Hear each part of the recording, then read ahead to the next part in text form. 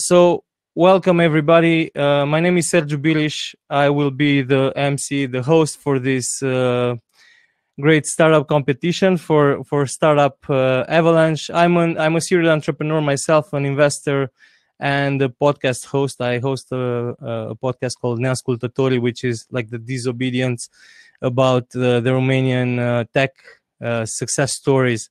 So it's it's very great uh, for me to to present this. Um, the startup competition is my second time. Uh, I, I, also presented it last year.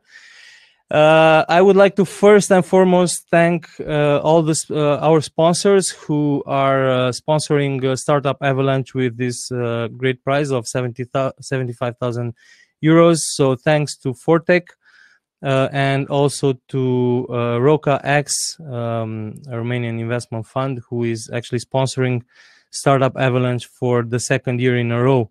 So thanks a lot, guys, for uh, for being here.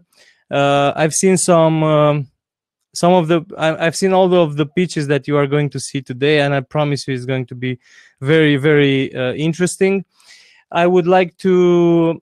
Uh, but before we start, uh, I would like to tell you a bit about the what the rules are. So the startups will have roughly five uh, five minutes for the pitch and five minutes for the Q and A from from the judges.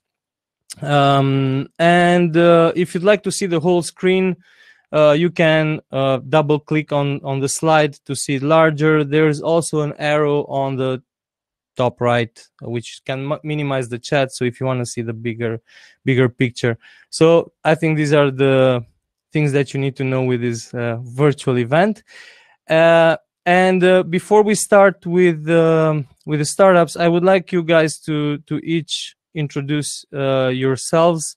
How I like to say it, you know, it's my is it's the first time I can uh, you know tell investors to pitch themselves. So please, uh, if you if you could um, uh, each introduce yourself for like 30 seconds, tell us a little bit about yourselves. Uh, let's start with Trey. everybody. Good morning or evening or whatever time zone you're in. I have no idea. Uh, I'm Trey Stevens. I am a partner at Founders Fund, which is a stage and sector agnostic venture capital firm based in San Francisco. Um, we've got a big couple of months coming up with IPOs, uh, which is kind of changing the dynamic of venture. I've never been in a position where we're actually like getting liquidity. so that should be happy fun. times.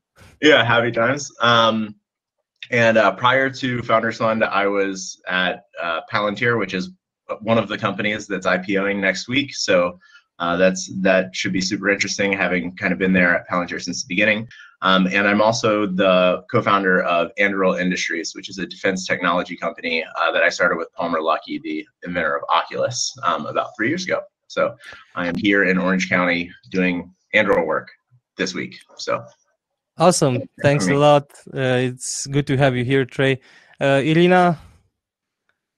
Hi everyone. Um, uh, you're on. Uh, can you hear me? Yeah. Okay. Hi everyone. I'm a, I'm a partner at Atomico. Um, Atomico is a VC fund uh, out of London, investing primarily in Europe um, at early stage, only at Series A, and um, a little bit in the US at later stage. Um, my I'm Romanian actually, so you know, great to be here. Um, and uh, kind of my focus within Atomico is uh, on deep tech businesses and enterprise businesses. Um, especially at the intersection of the two. And I also cover uh, the healthcare and kind of bio sector as well. Look forward to hearing this. Awesome. It's, it's great to have you here. Uh, Rohan.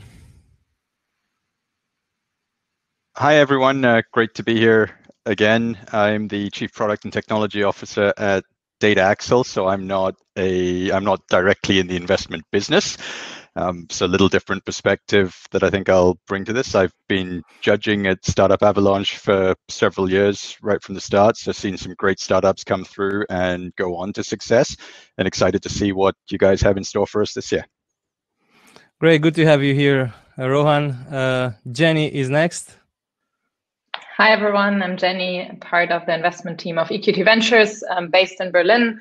Uh, EQT Ventures is a 660 million euro fund focusing on Series A and B in uh, Europe and across uh, North America, but originally comes from Scandinavia, so Swedish fund. Thank you, Jenny. It's very good to have you. Uh, Jaco? Hey, my name is uh, Jaco Fock. I'm uh, Chief Innovation of OMV Petrom and as such very interested in uh, the startup ecosystem around us, but also somewhat wider uh, in, in, in Europe. Uh, we don't necessarily invest that much in startups, but we would collaborate with them and we dare to collaborate with them in a quite an early phase, providing them a platform for for for testing, improving their concepts, and their and thus I think usually of more value than uh, than, a, than a straightforward investment. Um, here also to learn, interested in startups, obviously around energy, energy transition, but also we've uh, been working with startups uh, that work on safety, you know, office environment. Um, so there's all sort of things that that that help us, you know, in our in our in our office environment, our work climate to do things better. So eager to hear the pitches. Great to have you here, Jaco. Uh, Corey, uh, we can. I don't think we can hear you. Thanks to everybody who's putting this together, and especially thanks to those who are providing the opportunity for these entrepreneurs to pitch. Uh, it's a it's a scary and exciting time. I've been there. Uh, I've built a number of businesses from kitchen table to tens of millions of revenue, and exited a couple primarily over the last decade in the education space. And currently, I'm uh, a managing director with an investment bank that's focused primarily on the education space and as an individual, a pretty active angel investor. Uh, and so just just a dude who's been there and is excited to see you all pitch. Thanks. Thank you, Corey. Thanks uh, everyone for uh, for this introduction. So I think we are ready to see our first uh, our first startup uh, pitch, and um, uh, I would like to ask them to to to start preparing. Uh, Eva, welcome. So this startup is from the UK, Hashiona. Eva, I will uh, let you take over. She's the CEO and founder of Hashiona. I will let her uh, present the first uh, startup. Thanks. Hello, everyone. My name is Eva, and I'm a founder of Hashiona. In Hashiona, we're helping those with Hashimoto and hypothyroid disease to have a normal life. Let me explain. This is your thyroid gland, a small organ on your neck. It's produce a, it's hormone that control your energy and metabolism. If hypothyroids occur, the organ underperform. What that means, everything in your body slow down dramatically. And this disease may be more, more common than you may think about. It usually affect women. According to American Thyroid Association, one out of eight women globally will develop thyroid disorder. That means 480 million people affected globally. Those women may have to up to 45 different symptoms, including problem with sleeping, getting a weight, um, constant tiredness, and even depression. So what's the problem with thyroid care today? The care is very simple. It's just one pill called levothyroxine per day. However, it is not enough. Over 70% of the patients still feel symptomatic once being on the levothyroxine. Why? Because Hashimoto is autoimmune disease. It affects your whole body and it should be treated as such. So Taking, taking a pill is obviously important, yet not enough to keep the disease under control. To get rid of the symptom and have a normal life, patients have to um, change completely their lifestyle. By lifestyle, we mean a restricted diet, um, eliminating gluten, sugar, alcohol, soya, um, processed food, and transfer fat. They also shouldn't avoid um, sport activity, but not all of them um, are good for Hashimoto people. Also, sleeping patterns and cycle that affect our P2RT. Eight, nine hours is required any single day. Supplements, micro, macro elements, and vitamins. The average Hashimoto patient is taking up to 12 different pills per day. and also the overall of our health, not only thyroid, but also a gut, liver, adrenal glands, pituitary, and an immune system. And last but not least, stress management. Permanent stress may cause uh, overproduction of cortisol that blocks absorbing um, thyroid hormones by our body. So that's why, uh, that hence those lifestyle changes are not a nice addition. They are a must for those with autoimmune diseases. And this life change, the permanent life change is not easy, especially if you don't have a clear guidance from your GP. So what people do, they usually jump on the internet and looking for uh, a lot of information in Google and Facebook, which make them even more confused. They wonder what they should eat and what should they avoid. They may have a problem with finding reliable clinicians. There is no easy tracking tool to track their progress. And also, they feel lonely. Similar to the depression, hypothyroid disease is not very well understood by the family and friends. That's why we invited Ahash their experience and exactly know the problem, the those patients face on the everyday. That's why we uh, created the app, the, the thyroid uh, diary, which is a companion for those people and support them on this complicated, um, complicated journey. In our app, we educate our users how to track their symptoms and their life habits. We remind them about the next doctor appointment or taking a pill. Using their own data and our AI, we provide them with the insight about their condition and help them to identify the individual health patterns. If they wonder, for example, where is the brain fog coming from, well, we may indicate that this is going from the gluten that they are have in their diet. We also provide them the, to provide them with the access to verified knowledge, including the latest medical research and also database of recipe.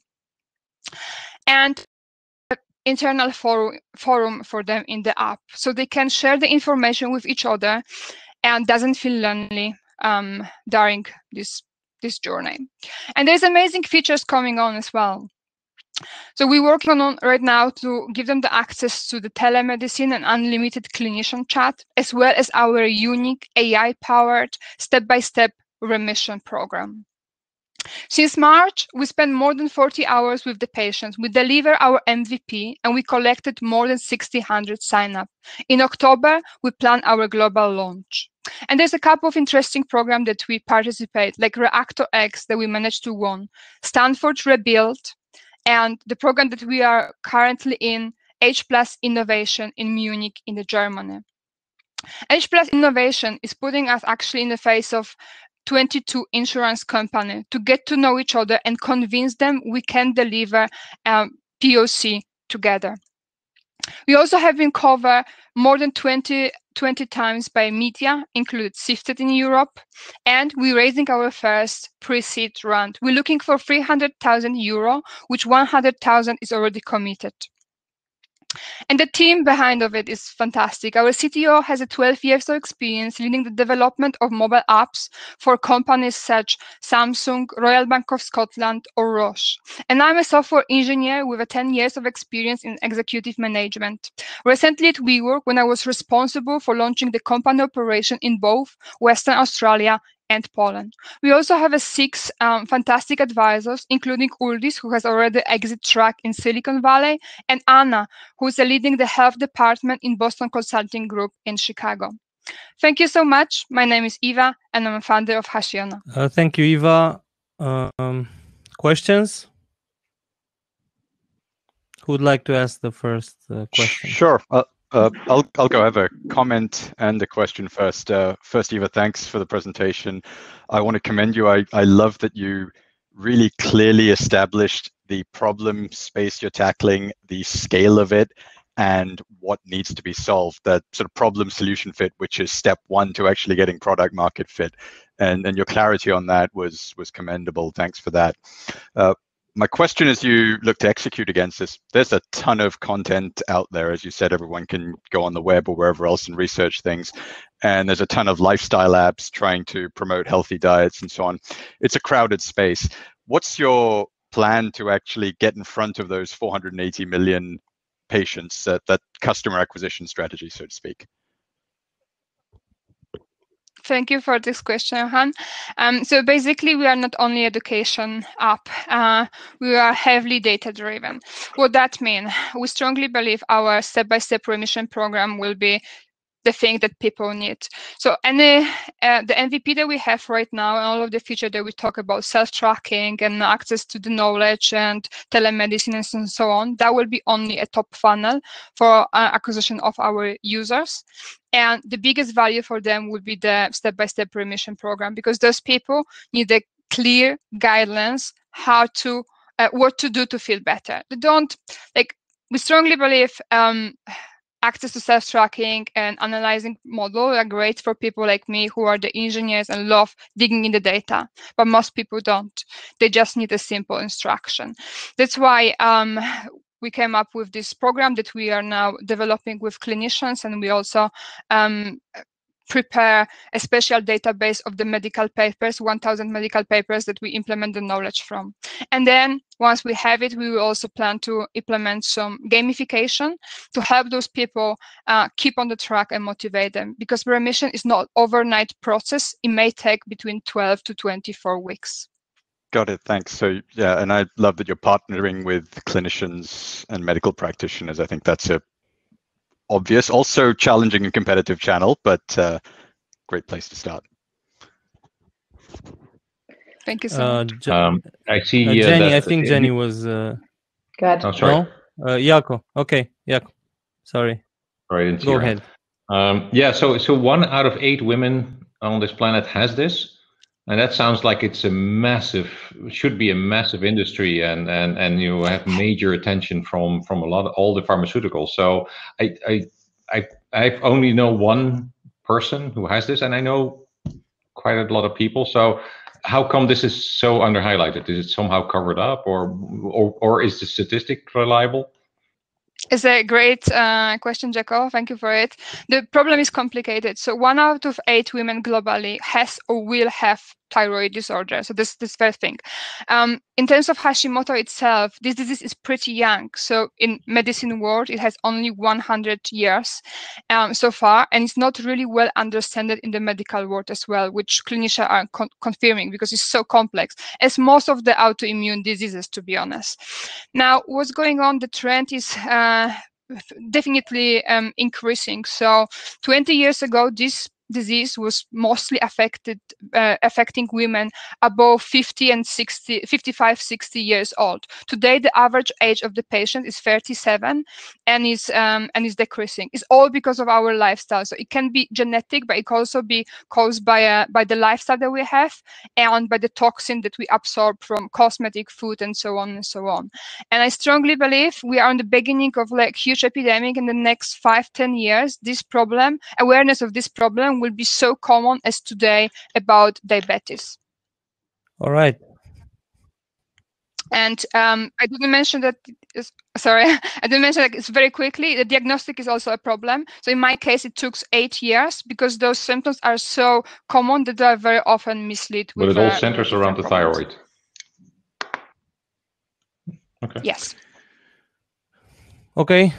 Thank you thank you very much, Eva, uh, for uh, for your presentation. The time is uh, the time is up. We will have the the next uh, the next startup on stage. Uh, so thanks a lot. We'll see you soon. Absolutely. Thank you for having me. Bye. Our next startup will be. It's it's also from the UK, uh, and in March of this year uh, they basically realized that F- FMCG companies were struggling to reduce uh, lost cost, uh, lost sales, uh, which was made worse by COVID, and they have a new startup to tackle that. Uh, I'm. I'd like to introduce Vina, CEO and co-founder of SalesBeat. Vina, you have the stage. Great. Can you see my screen? Yes. Great. Hi everyone. I'm Vina a co-founder and the CEO of SalesBeat. We are eliminating lost sales for fast-moving consumer goods companies. I have 20 years in this industry, working in and consulting for large FMCG companies like PepsiCo, and Diageo.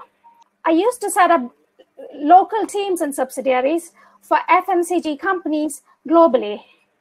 In my first sales role, I led the international wine sales team at Diageo to beat their targets for the first time since they were set up.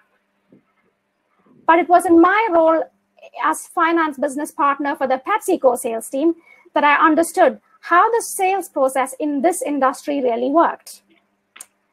You may be surprised to know this, but supermarkets don't really care whether you buy a Pepsi or a Coke, as long as retail margins are similar. And this is why a PepsiCo salesperson needs to go to the buyer to discuss orders and promotions regularly so that they are efficiently and effectively selling into consumers. Typically, a salesperson uses historical sales data to guide these conversations. So, what happens when there is a heat wave? This is not a recurring event. Not a single Pepsi on shelf. And PepsiCo loses on this massive sales opportunity. Due to these situations, Pepsi loses $20 billion in annual sales. And according to a study financed by Procter & Gamble, this is $3 trillion in lost sales every year for the entire industry. Beat solves these problems. Beat processes both internal and external data to make predictive recommendations to sales teams to help them inform their discussions with their buyers. Beats AI uses historical sales data, weather data to predict future sales, memberships and points cards to understand consumer interests, social media trends, and demographics data to recommend optimal promotions and portfolios to launch in local stores. You may wonder how we are different from CRM companies. CRMs like Salesforce are brilliant to track your sales pipeline, where you contact several different prospects, some of whom convert to customers. CRMs are a tracking tool and is reactive. Beat is an FMCG focused sales team management app and makes predictive recommendations to sales teams on what they need to discuss with the buyer. And this is why most of the companies we reach out to cold are interested in Beat. We have a 60% interest rate in our cold emails. And we are currently speaking to all of these large FMCG corporates. That's 25 large CPG companies in ongoing trial discussions. And even three agreed pilots. On to my co founder, Alex, who has more than 20 years in startups and in tech. He has been developing apps, managing web development projects, and advising startups on their tech strategy. His expertise lies with helping companies take an idea to market and ensuring product market fit, with its focus being on user experience and smart design. We are raising $300,000 in convertible notes and safes to go towards platform development and sales and marketing, of which $100,000 is already committed. And in 12 months' time, we expect to generate $100,000 in monthly recurring revenues driven by 700 sales execs using Beat. We are Sales Beat.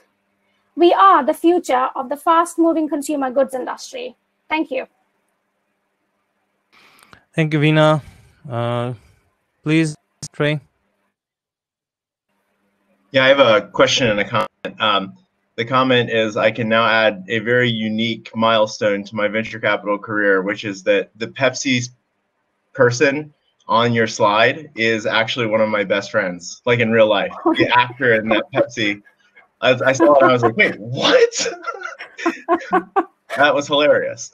Uh, and the the question is, how are these companies like Kimberly Clark and you know P&G and PepsiCo, how are they doing this sort of demand analysis right now? Obviously, I understand they're not using CRM, but I know that there are like demand products that they are using that are software. So what is that? How does that work right now? Yeah, so a typical demand planning software that's used is Anaplan. Um, and what they typically do is Anaplan is it's it's a fairly passive system. And once these salespeople discuss opportunities with the buyer, which is still an active conversation that they have, uh, they come back and upload this with purchase orders that come in. And what what misses out here is the fact that there is an element of verbal commitments that the buyer gives. So there's you have them basically saying, okay, we'll place an order next week. And this doesn't get captured in Anaplan. And that's basically where a lot of the uh, communication falls out and where Anaplan fails to basically predict future sales. And Anaplan doesn't use external data sources. It basically looks at past trends and tries to predict the future based on historical sales data. And it's using the POs that come in that Anaplan helps them with demand planning. Does that answer your question? It does, yes. Thank you. No problem. Other other questions? Well, actually, I Uh, would expect. okay. Uh, oh, sorry. I would expect uh, PepsiCo also to have tons of data scientists who who who who also would jump at this opportunity. So why do you get space from them? So yes, um, PepsiCo has insight analysts that look at all of these data sources, but they don't actively inform conversations with salespeople. They most of the insights go into financial planning. So if you look at forecasting, yes, you use the insights uh, gained from these inside researchers who send you all of this data, and you use that to build it into your future plans. But salespeople don't get live insights from these people to inform their sales conversations. It's still the salesperson doing research to understand what's going on, taking this to um, the buyer that he or she meets, and having this conversation with them. And what we basically do is we give them active um, recommendations on what needs to be done. So every day they basically have a pop up saying, hey, this is running low in stores, or um, next week there is a heat wave. You need to discuss sales of white wine with the buyer. Or um, it could say, um, Walmart is sitting on too much stock. You need, need to discuss a promotion with uh, the Walmart buyer. And that's the sort of thing that the bot does, which they don't actively get now. Thank you. We have uh, four minutes for one more question. Rohan, I think you wanted to ask something. Sure, I can go. Jaco took part of my question, but uh, on a similar tangent. Um, so this happens to be a industry space that I'm familiar with, having worked in or adjacent to it before. Um, one adjacency that's interesting are there's companies like uh, Bossa Nova who do the robots that Walmart are deploying to go up and down their stores and scan the shelves, monitor stock, and feed that Yeah. data back in Mhm. real time. You've got Yeah. companies like Trax and others in that space. Yeah. How do you see yourself sitting against all those guys deploying in-shelf cameras to track real-time movement? And uh, uh, with a Walmart, for example, you talked about loyalty programs. Do you see them actually sharing loyalty program data with you that you can use in, you know, powering your AI? Yeah. I love the fact that you asked that question because a lot of people think about this but don't really ask us this question. Um, so, companies are currently focused on in store sales execution. And what they forget is that if the product isn't even on shelf or even in the warehouse, you can't really put it there. And that's where we come in. So, we sit adjacent to them. We are in um, complementary spaces. Um, and Walmart sharing data, um, Walmart shares data with the, the CPG companies or the FMCG companies. And we basically plug into them and run our uh, regressions and correlations on the data that's plugged in. So we don't need to see it. As long as it's plugged into our system using um, Kimberly Clark's or Pepsi's um, memberships into them, then that's perfect for us. Perfect. Does Thanks. that answer your question? Yes, thank you. Thank you. That was that was great. Uh, thanks uh, a lot, Vina, uh, for presenting us uh, sales. Uh, beat, please. Thanks for having me. Yeah, absolutely. Uh, I'd like to introduce our next startup. So see you later, Vina. See you. Bye. Uh, our our next startup is from Germany. uh, and their team met at Innovation Lab in Humboldt University in Berlin. They are making electronic component sourcing engineering free. So to tell us all about that, I would like to introduce Ran, who is the CEO and co-founder of SourcingBot. Welcome, Ran. Hi, everybody. Thank you very much uh, for the opportunity to be here. Um, so um, um, I'm the founder of SourcingBot, uh, and I'm here to tell you how you do uh, electronic component technical sourcing without engineering.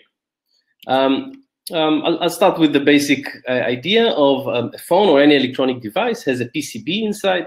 Uh, this green PCB where the, the, the, small chips are being printed on has, of course, hundreds, hundreds of parts on it.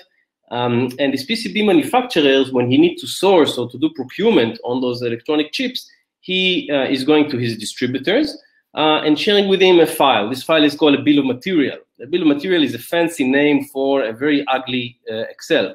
Excel with a lot of text and, and very dull one. Um, now, the distributor has to quickly analyze this bill of material and to find the cross references that he can offer this PCB manufacturer um, uh, so, so that he can sell to him, right? So that's that's the purpose. Um, and and this process is a process that takes time. Okay, so you have a sales team that is also technical. Okay, um, and the sales team has to quickly analyze this bill of material and allocate cross references from their catalog. Uh, if, of course, in order to do that, you're talking about a very wide range. You have to have expertise in passive sensors, etc. Uh, basically saying that you have to coordinate this test, and, and each bill of material can take up to up, up to 10 hours uh, just to analyze. Um, um, furthermore, once you narrow down your result, you still have to open two data sheets on two different computers and validate manually that those parts are accurate or, or can, be, um, can be replaced at your operating point. Now, this is, of course, a tedious uh, process that if you're a large distributor and you, you manage many accounts and many bill of materials, can take up to 3,000 engineering hours a month. Of course, that is that is very costly. And this is where SourcingBot comes into the picture. So we provided a platform uh, with the best-in-class uh, free text search. Um, you can you then start getting results, and you can filter down by ranges, which is pretty unique in the, in this industry if, you, if you're familiar with it. Um, uh, quickly, we're we are allocating cross references for the paths that you need, Moreover, we do it according to the design objectives. So according to the engineering, what he's, he's looking for, um, we can help him find the right part, uh, which is really unique. Uh, and then what we did is we took all the information from the data sheets and we, and we um, digitized it so you could really just watch out and, and compare those parts on your screen. Um, we're then providing you, of course, with the availability and the pricing for all those parts from all the global distributors. Of course, that is happening in real time. Um, quickly looking at our competition, uh, Silicon Expert, a very, very uh, successful company from, from Silicon Valley, um, established in the year 2000, now owned by Arrow Electronics. Um, they have a physical uh, team in, in India that is, that is analyzing and improving the data, finding cross references for their clients, and they do it all the time, every day, with a very large team. Um, uh, so I'll, I'll, quickly tell you a, a, a, successful client story. So we started working with one of our clients. He told us he has 170 bills uh, of materials. We ran them all through our system, of course, in one day, reduced the response time to the clients from basically one week uh, because they had to transfer, uh, to send those files to Mexico and analyze them to two hours. Uh, and if you if you calculate that quickly according to 50 hours, uh, uh 50 US dollars per hour, you're getting up to $85,000 uh, saved just that day. Now, this is of course a, an extreme scenario, but but this what happened. Um, we are a Berlin-based team, um, very technical with the right expertise to do it. Both founders, uh, both C-level, have a, a, pretty significant uh, entrepreneurship experience in that in the electronics domain. Uh, and what I'm here, what I'm what I'm trying to basically communicate is that we need to you need to let the robot do the sourcing, technical sourcing, so that your sales engineers can just sales and just do sales. Um, this is it. Thank you. Thank you, Ran. Anyone? Any questions?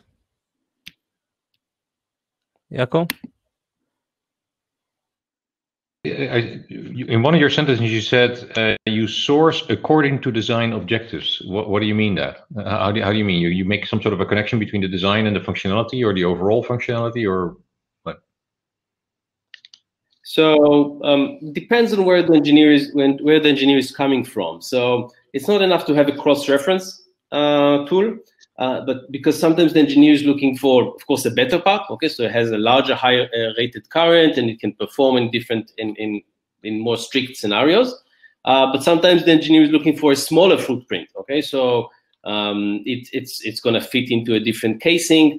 Uh, so we provide these different design constraints uh, within our matching. So we basically calculate the matching for different for different those different objectives. Okay. Um, important important to, to describe that we're doing it we we are focusing on passive components and discrete semiconductors. So we're going part by part and on passive components um, for each for each different part that that, that we're supporting uh, you get different objectives of course right? so it's, it's of course uh, very uh, research oriented uh, any level of um Oh, sorry. Trey? Or Irina? Irina? Ladies first. Yeah, I'm I'm I'm I'm making the rules here. Thanks. I was gonna ask, what's the level of customization that you need to do now, and when will you get to a point where it's, I guess, where you cover enough of the of the most common ones so that you can move on to the next ones? Um, yeah. Um, that, that that is of course a, a fair question. Uh, it, it also it also relates to what is the target market, right? So we started with passive components. Uh, we shifted now to uh, discrete um, um, MOSFETs, transistors, um, diodes, um, and we are running we're running now the models on connectors, uh, and we follow a roadmap that is really uh, Pareto based. Yeah, so um, once we covered passive components, uh, we went. We started going to passive component um, uh, manufacturers. So focusing first on the manufacturers because our coverage was too low. But now, um, if you look at the normal bill of material, we cover approximately 60% of it. Uh, once we finish with connectors and wires, it's going to go up to 75%. Uh, so we feel also comfortable going and selling to um, uh, contract manufacturers, those PCB manufacturers, IC houses. Um, so that's that's the roadmap. The roadmap is really just to where what is the next step that's going to cover as much ground as possible. Uh, we have time for one more question. So Trey. Actually, roughly my question, uh, like a sector for materials, but um, how about custom molds essentially? So like parts that require custom machining work. Um, mm-hmm it, like how are you thinking about the differences in yeah. bill and service labor that's involved in those parts?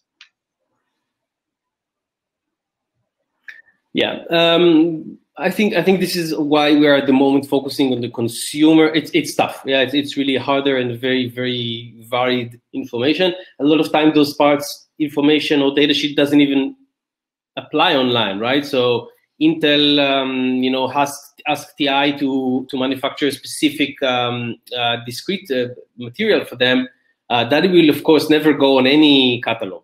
Okay, so that is that is irrelevant. Uh, we are focusing on the the main market that that is also happening online, right? So, um, of course, we know that those contract that those contracts are consist of easily seventy percent of the market. Um, the direct communication between Intel and Texas Instrument, yeah. Uh, this is off the table for us, and we focus on the on the commodity parts that are everybody's buying the same capacitors, same inductors, um, and, and, so we, we focus we focus on that at the moment. Um, from technical perspective, if you will ask us to run your as a part manufacturer, we can upload your parts um, uh, according to uh, those very small detail design and compare them to the market, which is a very interesting uh, business model, and we, we can we can do it for Texas Instrument. Okay, so if Texas Instrument wants to upload their catalog and compare their um, offering to the market, we are we are doing it. Yeah, um, and then we can look at very um, um, let's say, uh, hard to find parts um, that are that are less available. Uh, but of course, having availability on the distributor side, that's what basically sets the tone. All right. Thank you so much, uh, SourcingBot. Thank you, Ran. Thank you. Uh, we will see you again soon. Bye. Bye bye. So our our next startup is finally we have a startup from Romania. Uh, he's uh, fixing a very big pain in the insurance uh, claim field, and uh, he's a serial entrepreneur coming from a very successful recent exit. I'd like to welcome uh, Dan Cobeanu, the CEO and founder of PayPact. Welcome, Dan. Hello, welcome. Please Just share your uh, your presentation. We are PayPact, and we pay your claim money in 48 hours for any minor car accident. My name is Dan Cobeanu, and I am a serial entrepreneur. My previous business was Rovinete.ro, the number one online reseller of road tax in Romania. My business reached a turnover of 53 million euros, and we had an exit at the end of 2018 to a Swiss group. My new startup is PayPact. At PayPact, we solve a major problem in the insurance industry. No matter the insurance policy or the insurance company, when the insured risk happens, people have to wait to receive the payment. Let's take, for example, the MTPL insurance, motor third party liability. On average, a client has to wait 40 days to receive the repair money from the insurance company. In other CE countries, the process can take up to 90 days. For taxi or ride sharing drivers who depend on the car to make their living, the problem is critical. Now, the average payment for MTPL claims is 3,000 euro. In CE alone, there are 3 million claims every year, totaling 9 billion in payments for MTPL claims. PayPact reduces the time, the pay time in the insurance industry from 40 days to 48 hours. Let's see how it works. When an accident occurs, the two parties involved use PayPact to take photos of their vehicles. Then they scan and upload personal and vehicle identity documents. From here, there is one more step. The files are analyzed by our claim department and sent right away for approval to the insurance company. They are sent together with a financial evaluation of the damages. Once we get the approval, we'll make the payment in 48 hours or less. For every payment, we charge a commission of 10%. So far, I've invested 200,000 euros from my own money and are being used to develop the app. In February, we will launch with several insurance companies in Romania. By August, we would have processed to the app more than 1 million euros in claim payments, and we will be ready to open a seed round. Until then, we are looking for strategic investors that can help accelerate our go-to market. We are PayPact, and we pay your claim money in 48 hours or less. Thank you. Thank you, Dan. Uh, anyone has has any questions so far? Okay, uh, Trey. I think Trey was first, and then it's Corey. Um, is there something unique to Central Europe that is a problem? Like in the US, you get in an accident, they tow your car to a repair shop, and then it's fixed in two weeks, and the repair shop does everything with the insurance company. This doesn't sound like the case in Central Europe. Yeah. Explain that to me, like why that's different. Yes. Uh, well, thank you for the question. Uh, there is also this possibility here, but it usually uh, it, it doesn't go so smooth as you said. But uh, the problem is that you can go only in services that have deals with the insurance companies.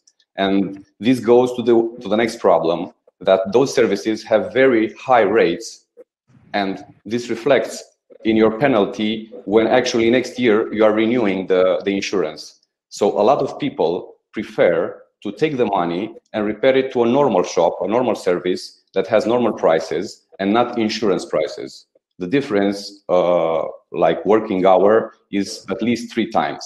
So let's say if one service, one normal service is 100 euros, if you are going there and saying, uh, I have an insurance, they'll just uh, tax you 300 euros because this is not forbidden in Romania and in other countries in CE also. Uh, Corey? Hey, Dan, how are you? Hey, how are you? Congratulations on Rovinete. That's fantastic. Thank you. Thank and you. congratulations on PayPact and what you've built so far. So uh, a couple of questions, uh, perhaps three, but on the first one, I wasn't clear in your presentation. Is it PayPact that is doing the assessment and interfacing with the insurance company? Yes, yes, yes. So, so the insurance company does not have their own representative who does that work? Yes, they have, but for them, it's important to speed up the process to send them all the necessary documents and all the all the processes. The idea is uh, that uh, in Romania, at least, and also in other CE countries, there are softwares, authorized softwares, that are making the assessment, like Eurotax. And we are using the same softwares with the same connection as them. But we are saving a lot of time for them, not putting the insurance companies to do this process. Sure. And and is there some sort of training or certification for your team from the insurance companies? Uh, there is a certification from the financial authority in Romania, uh, and uh, you need to be a, to be a certified uh, uh, a certified person to to be able to uh, work in claim sector. And our team has this. I mean, it's individual per every person. It's not a company certification. It's a it's a, you need to be a claim assess, assessor for Sure. for the financial institution. And what, what what's your resource uh, for capital? Is it a line? Are you co- connected directly to a local bank to pay those out in 48 hours, or will that be from the investment?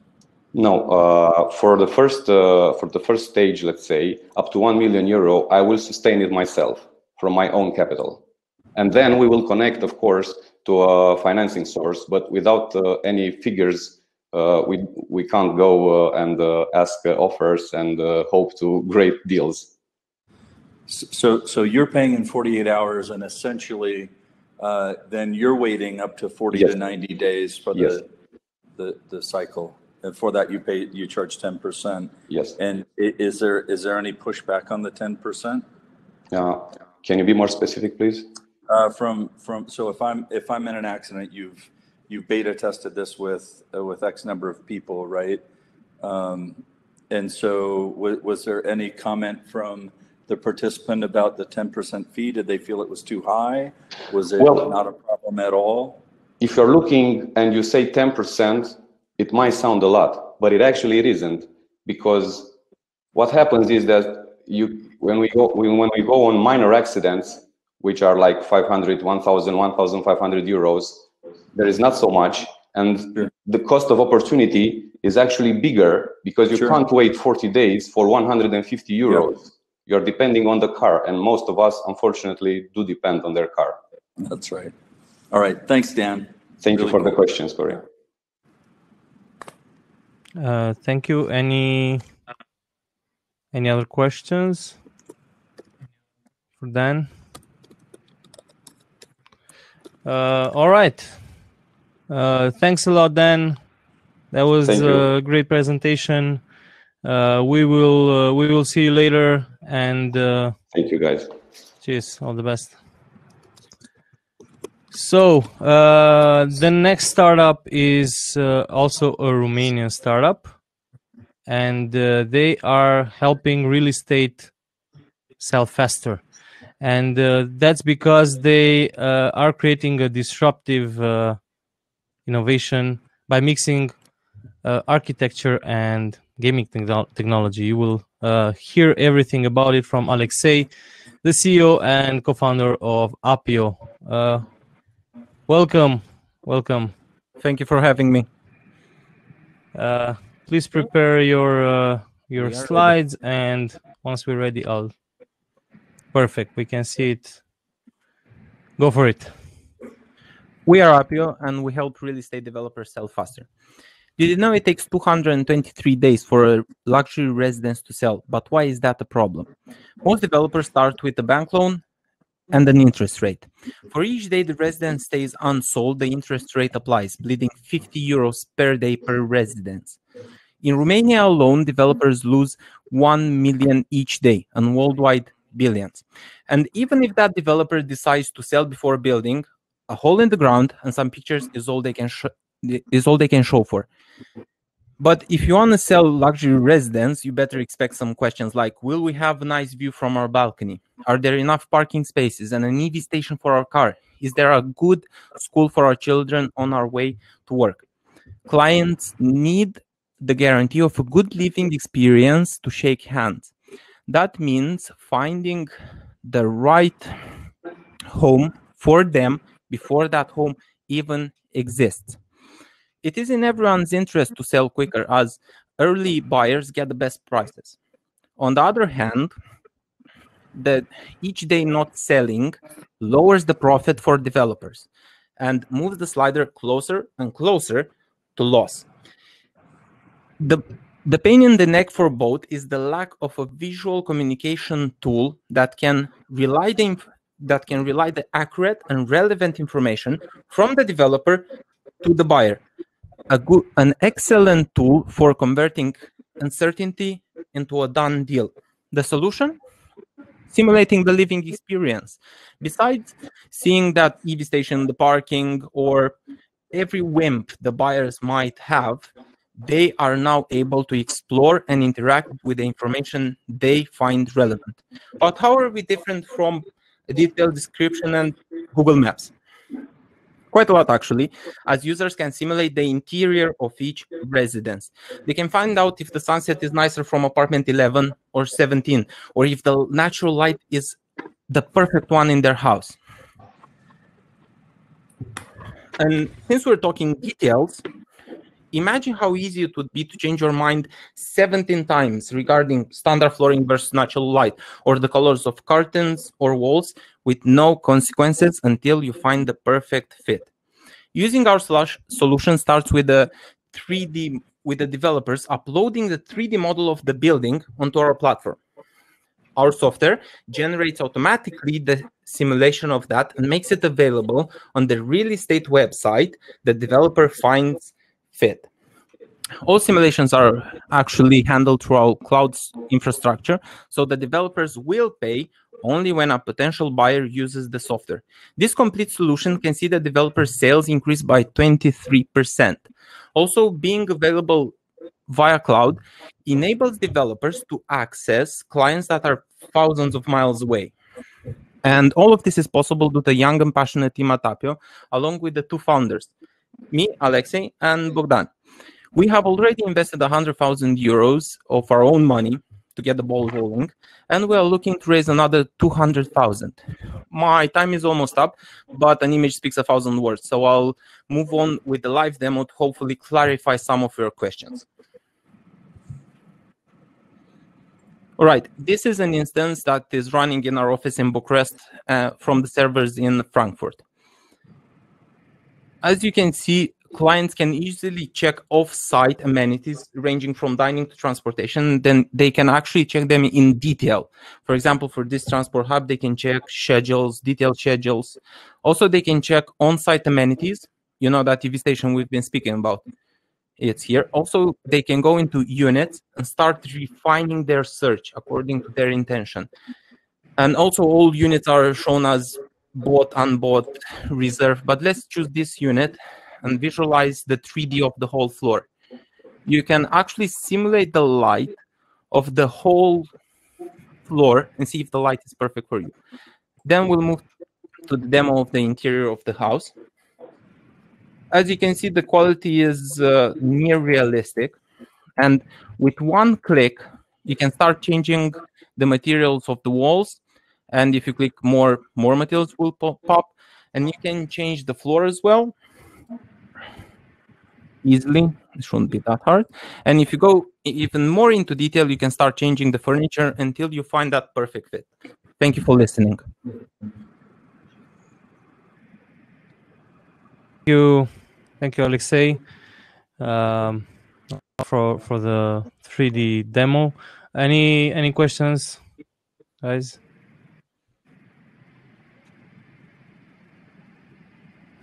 Okay. Uh, I'll ask a question because I'm curious. Uh, how how does this work? Uh, I mean, does the uh, developer, uh, building developer, upload the 3D uh, on your servers, or? Yeah, actually, they uh, take the model, they upload it to our servers, and our software actually automatically generates all the context they need, and then makes it available from our servers onto the website they find relevant because each developer uses a different site. So you want a cloud solution that can be accessed from any device. You don't want a solution that can be used only if you have a 5,000 euro computer right next to you. Right. Uh, and what's the business model? Oh, sorry, Corey, you had a question. No, that, that's my question. But really cool, really cool uh, user experience for me watching that. I could see how that would be. Uh, thank you, really thank you. All right, so uh, the business model, right? All right, so the developer takes the model, uploads it, we generate the experience and make it available on the website he finds relevant. He pays only when a user clicks on that view button. That's the only time he pays. So short version, he pays per click or per view. And is it to scale? It, so is is the developer is he or she doing all of the the measurements and uploading tech drawings, or how, how are they getting it to, and what sort of time commitment is necessary for them? Uh, good question. It actually takes, I think, 10 seconds time commitment for for for them because most of the developers get the 3D model from the architect. We have integrated our solution with all, all major 3D modeling uh, software that architects use. So all he has to do, get the 3D model from architect, upload it, and pay per click. That's all they have to do. It takes mo mostly 10 seconds. Depends on the internet speed. Yeah. Thanks. Uh, any other questions? Uh, you said this is better than the than the um, uh, usual experience. How uh, how are you? Um, how can you tell if it's a better experience than than That's actually a very good one. Um, we actually took the high standards of visual quality and interaction from computer games. So computer games are famous for uh, being playable and the visual quality. And then we brought all of those high standards down to architectural visualization for the residential. That's why we are able to push the quality down to the best on the market. Quick question back to the business model. All right. I guess it doesn't have to stop there, right? You could also even um, think further about like integrating interior designers to the platform or furniture um, furniture um, traders or whatever. Have you looked into the potential of these uh, approaches already?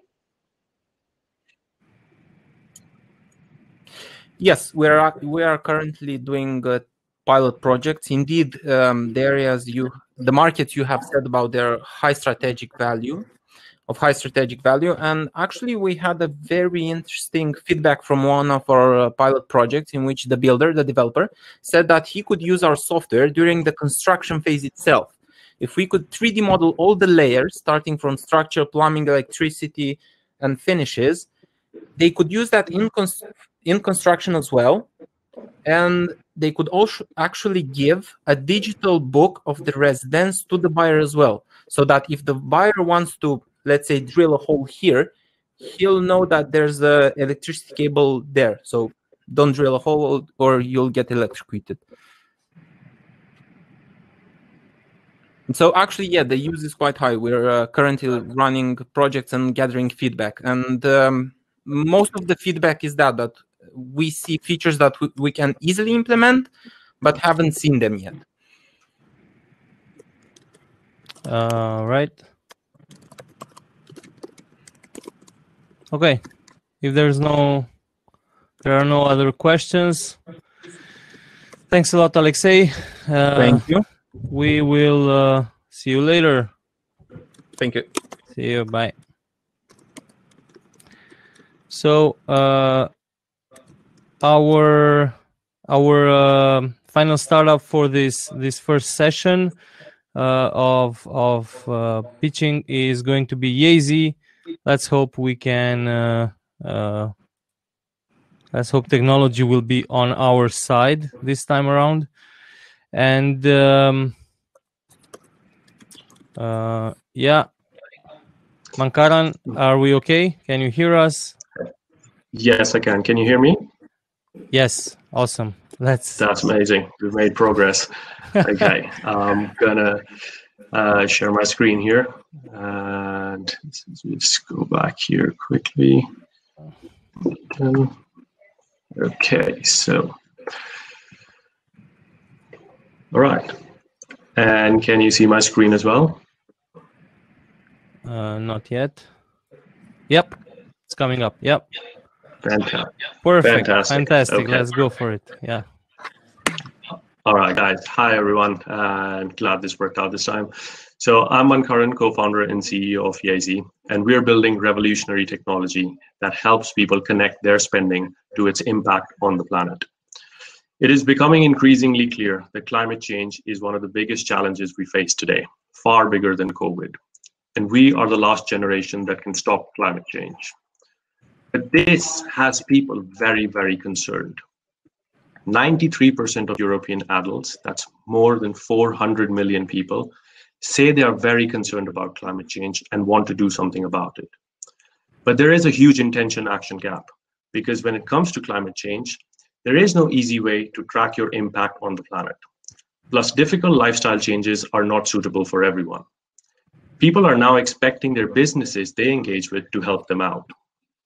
Consequently, businesses and especially banks and financial institutions are looking for solutions they can implement to participate in the fight against climate change. And this is critical because companies that don't adapt and don't stay relevant to the customer needs will disappear. But there are no real consumer facing solutions that they can implement. And we are changing that. We have built game changing technology that uses your payment data to calculate the carbon footprint, helping you connect your spending to its impact on the planet in real time.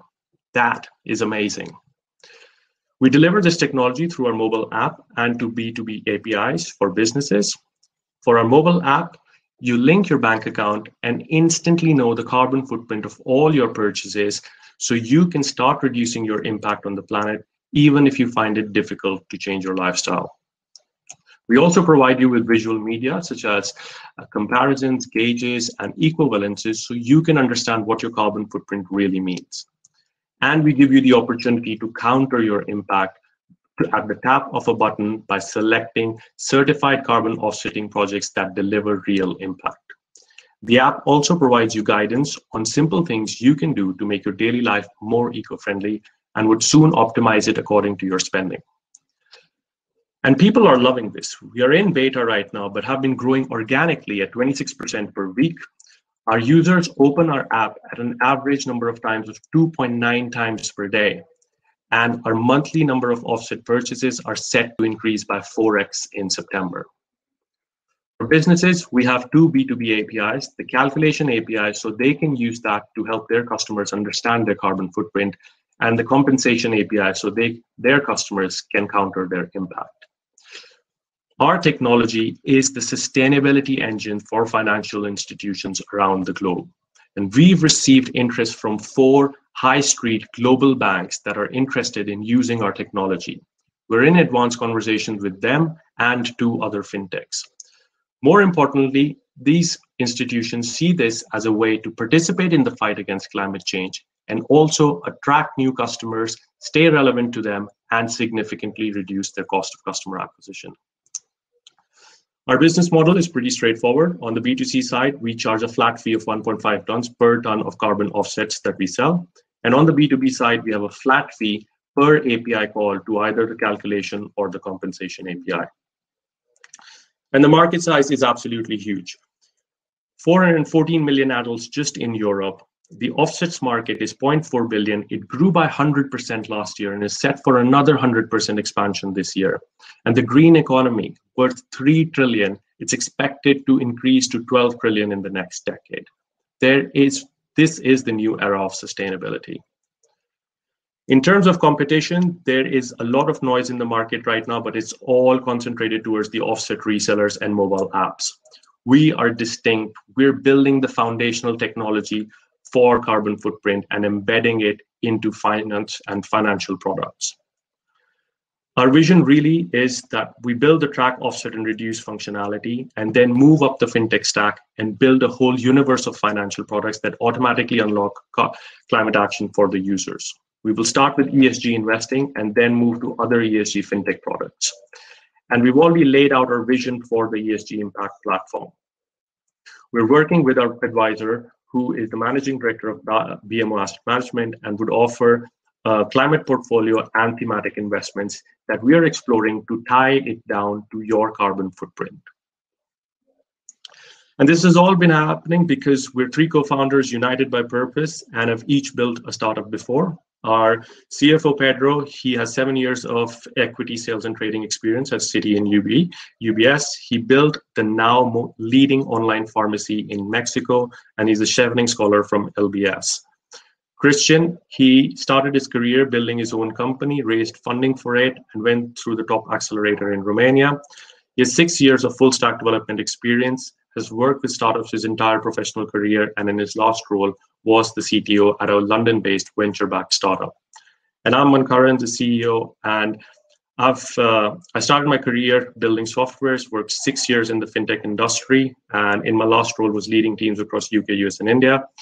I've uh, built a lending platform, which was an alternative to high-cost short-term credit. I have an MBA from Oxford, and the three of us are passionate about climate change. We're also supported by an extremely strong board of advisors. Dr. Sangwon Suh, he's the lead author of the IPCC, member of United Nations Environmental Policy. Kaushik, the global growth head at Facebook, and people who support us who have built companies before and have connections to the key decision makers at banks. We are now raising our seed round. We targeted 200,000 and we launched our crowdfunding campaign with that target. I'm really happy to tell you that we smashed our target on day one and are now overfunding on Seedrs at 223% funded. We're still live, we're still accepting investments, and you could go to Seedrs to check it out if you want. That's really us. We're shaping the future, and this is your opportunity to influence it with us.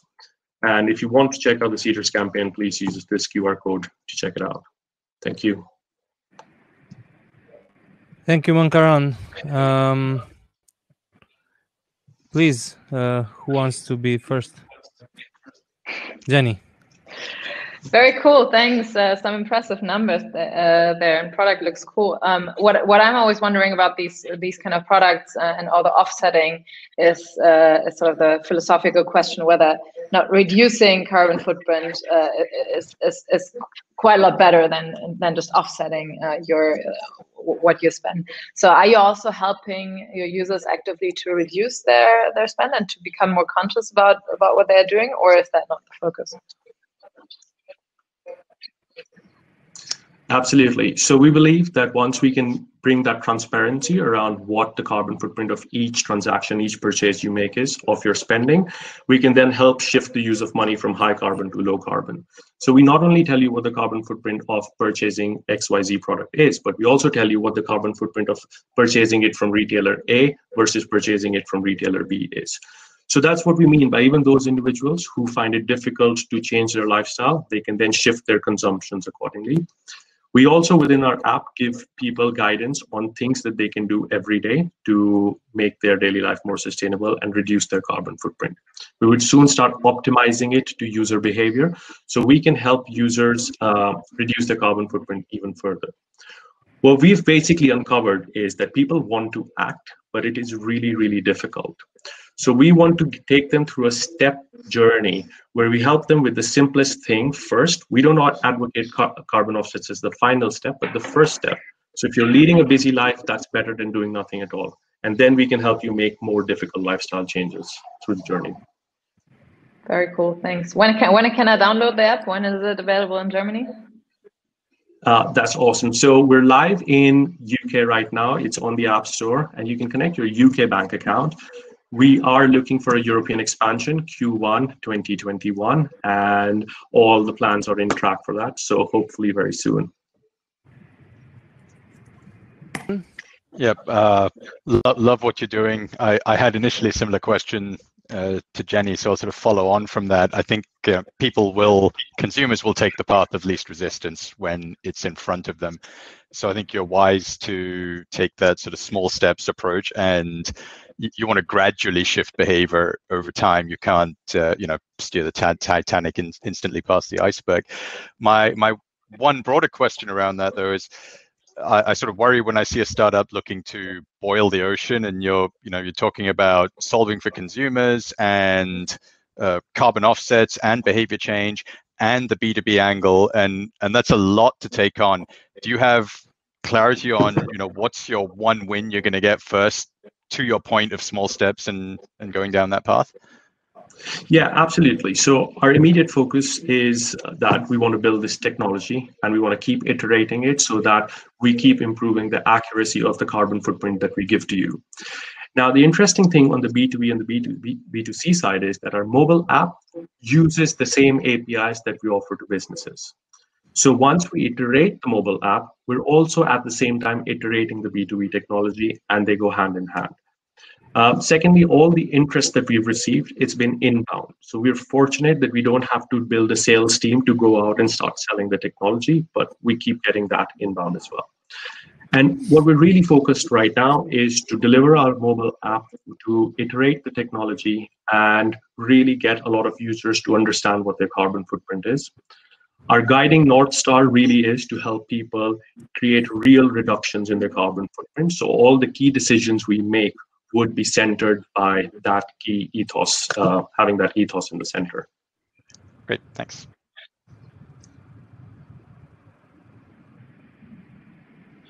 Go ahead, Jaco.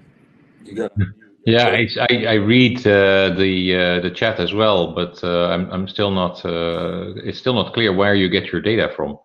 Uh, so where do you because it seems now you're sort of estimating it using an algorithm. Um, Yes. So we firstly, in terms of data, we have a lot of credible uh, data providers, and we have a close partnership with one of the data providers who's built their data set over the last 20 years. It's tied down to academic research, and it's methodologically methodically consistent with all peer-reviewed research as well. And we also work with academics to build and improve the algorithm to arrive at an estimate. Now, to calculate your carbon footprint in itself, your carbon footprint is a factor of how you live your lifestyle. And how you live your lifestyle is how you spend your money. So we look at the factors that you spend your money at, and we overlay three layers of information on top of it. So firstly, we look at the subsector of uh, the retailer you've shopped with.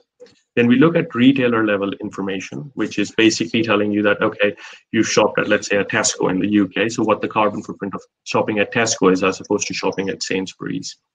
Then we look at product level information as well on top of it. Now we have the capacity to tell you your carbon footprint on a product level. The challenge generally is getting that product level information because that's not available in offline transactions.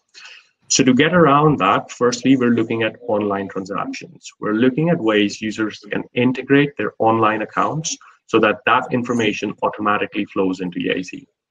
And the idea behind that is people who are interested in a more accurate assessment would uh, opt in for that. Those who are not would opt out for it. And that would cover a lot of the, the, the online transactions, which tend to be a high number of transactions. For offline transactions, we're looking at a lot of ways where we can see, okay, we can give the user the option to scan their receipts, and that information can automatically be used uh, by an image processor to tell you the carbon footprint on a payment uh, on an item level. The idea really is that we want to make it as simple and easy for the user. Now, if we take a look at the status quo right now, if you want to calculate your carbon footprint, you go online and you use some online carbon footprint calculator that gives you your carbon footprint on a subsector level. And that is where they stop. But that is where we begin. So in a lot of ways, we're defining the status quo of, uh, telling you an accurate carbon footprint.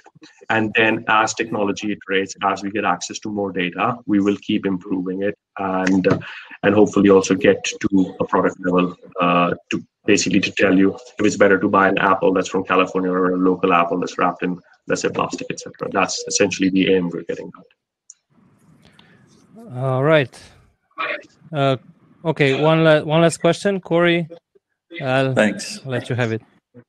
Thanks, Ma- Makaran. Thank you for uh, focusing your talent on such important work. Um, clearly needed. Uh, so, um, I, I, also like the approach that you're taking with the immediate feedback loops, informing me, the consumer, what my behavior is, and tapping into that desire and helping me align my behavior with it. So, I think that's the biggest challenge. Um, as as you talked about growing 26 per month percent per month. I think I might have missed the the absolute number and over what period of time. How, what what is your user growth since you launched? Can you hit that really quick? Yeah, so we basically started by targeting just about 100 beta users, and we're still in beta right now. And we've quickly grown to about 1,100 downloads when I last checked, which was about uh, about two weeks back. And essentially we we've been maintaining that growth period over the last four months and uh, and we're continuing to grow. What we've seen is that we don't have any kind of push notifications any kind of referral programs any marketing nothing that we've implemented. And really the beta users are uh, inviting their friends and family to the platform uh, without the presence of any kind of referral program in place. And what's your monthly active users Ah, yeah. So we have basically a cohort retention of close to 70%. So uh, so after about like 30 days or so, we that's where we are. We're still implementing all the Mixpanel data, but I can get back to you with all the relevant numbers uh, on it. Okay, thanks. All right. Uh, thanks a lot for for your presentation. Um, Makaran, we will, and thank God that we managed to to see it. So we will see you. We will see you soon. Thanks. Thank you, uh, Shaku, and thank you everyone for the questions. Bye. So uh, we are we are at the end of this um, of this session. Uh, we're actually right on right on time. We had like seven more minutes, six six to seven um, which I will use to ask you guys one question, uh, if that's okay. Anyone can answer. Um, and but before before I ask the question, I would like to tell the the audience that they should be at the second uh, session of of pitching uh, at 8:20, and uh, so we will see you there. And judges, you will get a nice form from uh, from Jennifer to to rate the startups that you've just seen. Um, and uh, to to ask you the questions because you're a very diverse group. Um, uh, how is this year? How has this year been different from for you in terms of finding good startups? Um, was it was it harder? Was it easier? Um, what do you think? Yeah, Irina? Start. Um, no, I think apart from the first couple of months when everyone was more focused on portfolio and making sure they're like resetting for new global context, I, everything else we've seen, to be honest, is uh, has been very active. And September is uh, we have a, a, really really busy pipeline of very good companies. Um, and so we actually haven't seen you know price compression in the rounds for the good companies. We we haven't seen like less of them.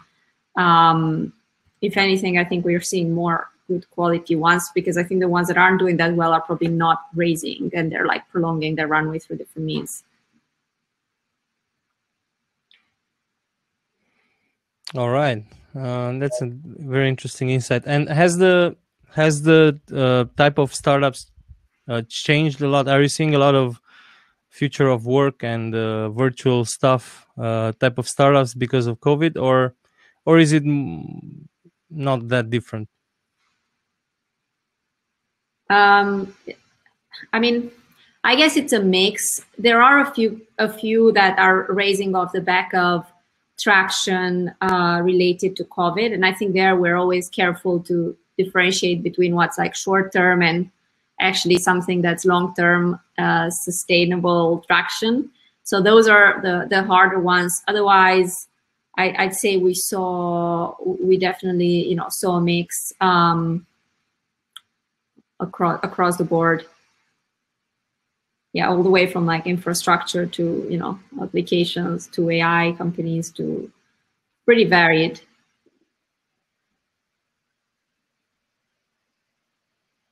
All right.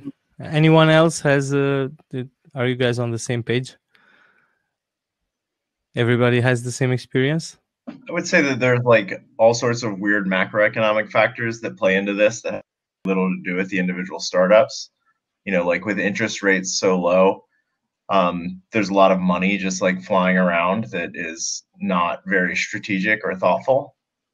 And the Fed in the US is just printing money with reckless abandon, uh, not considering long term impacts of doing that. Um, the public markets are completely irrational.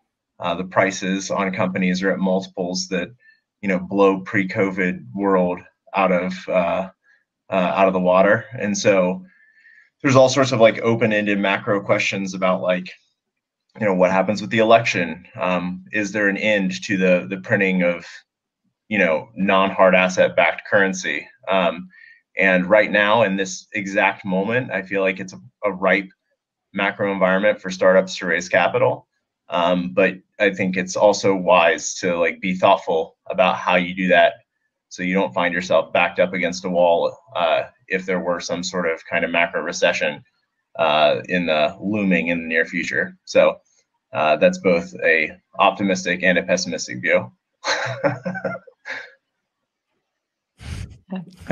painting a bit of, of, of, of a more of the more positive side again.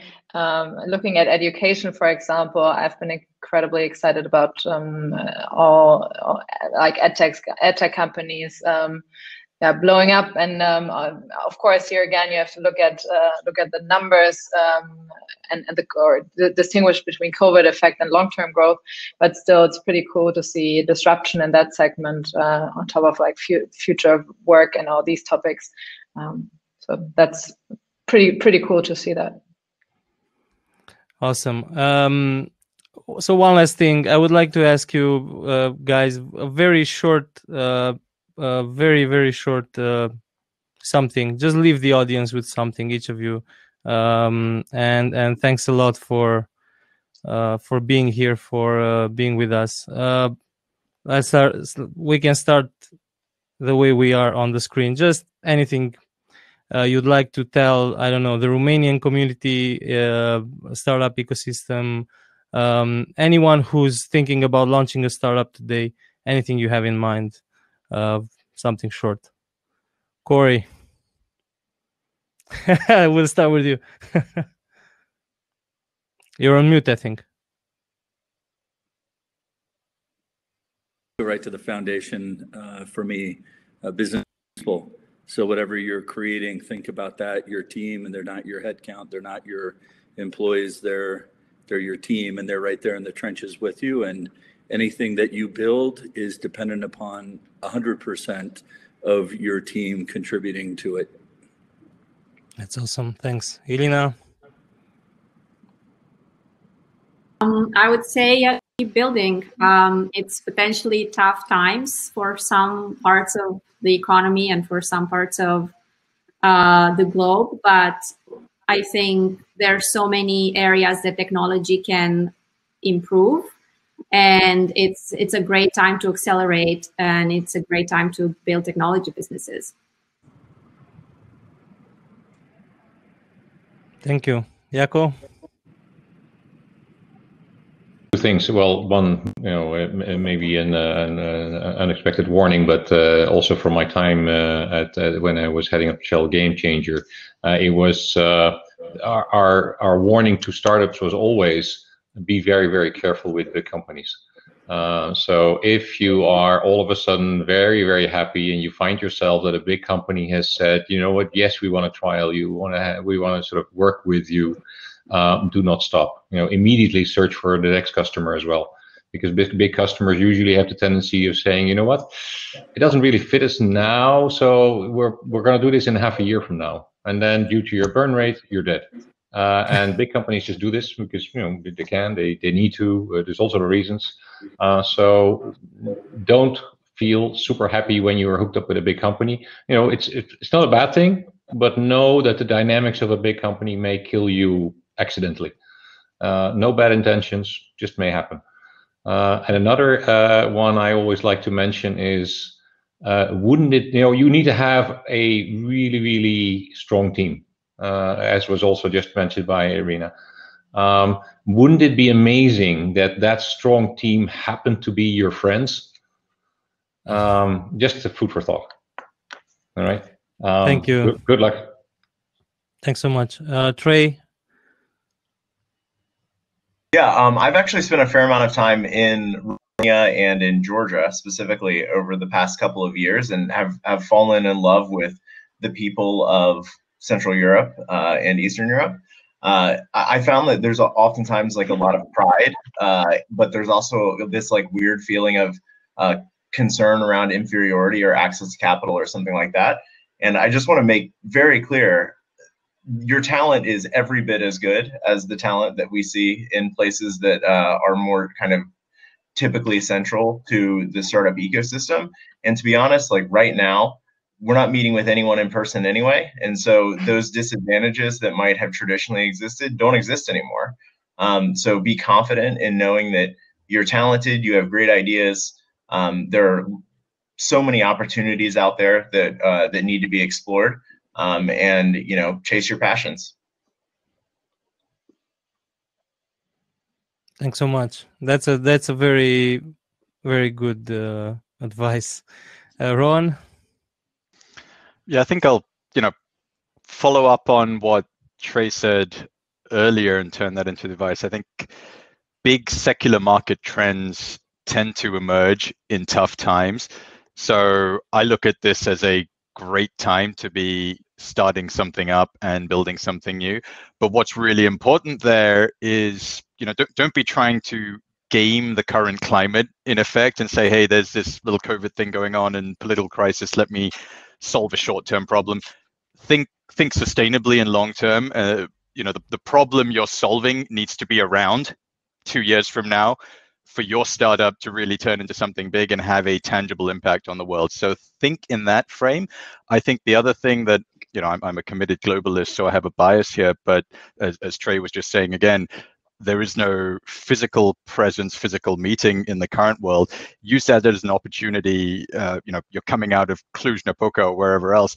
Think globally and and understand that we live in that global environment. I think one thing COVID has done is accelerate the pace of change. Um, so we are maybe next year we're going to be where we would have been five or ten years from now, and and have that mindset as you solve problems. Don't don't be too narrow and too constrained in your thinking, um, or you won't be able to chase scale. And I'm going uh, back to Trey's point a little bit. I think uh, fundraising accelerated quite a bit with all the uh, yeah travel times um, just like uh, evaporating, and and that also means it's dem democratizing. So if you're an underrepresented founder from like an underrepresented uh, group, or you're from a geography that's uh, not as accessible for for for VC uh, funding. I think all of these boundaries have um, vanished a bit now that uh, all the VCs are just a click away. Um, for example, in a, in a format like this one. Um, so yeah, for to, to everyone from those groups, make use of that and and and make the best of that that crazy time. Great advice, great great advice, and I'm sure our uh, uh, young entrepreneurs will um, uh, will uh, have great use for it. Thank you so much, everybody. Uh, I will see everyone uh, in the in the next session that's going to start in some minutes. Uh, thanks, judges. Uh, go uh, go ahead and judge. I hope you like the startups. I'll catch you guys uh, soon. Thanks a lot. Thanks. Bye bye.